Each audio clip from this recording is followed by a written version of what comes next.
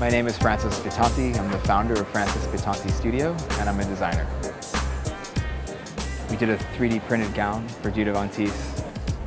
It's an entirely 3D printed gown, dyed black.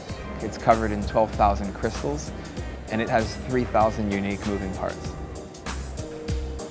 We're essentially developing a textile that was like highly differentiated and highly specific to certain parts of Dita's body. So that accounts for the differentiation in the 3,000 unique parts within that textile. We were limited by the size of the printer, so we, we broke that up into 12 parts. But those parts themselves were not differentiated and once joined together it produced one seamless fabric. And the entire dress has no seams in the end, it's all fused. She laces it up in the back, steps in, puts it on just like any other evening gown you might put on.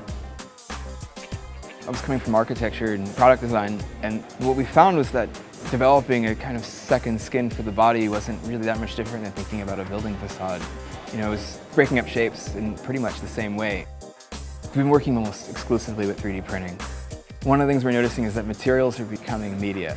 I'm not operating on materials, I'm operating on animations, I'm operating on video, I'm operating on pixels and polygons. It's, it's a lot closer to making a Hollywood film than it is doing, you know, making an aluminum cylinder or something, right?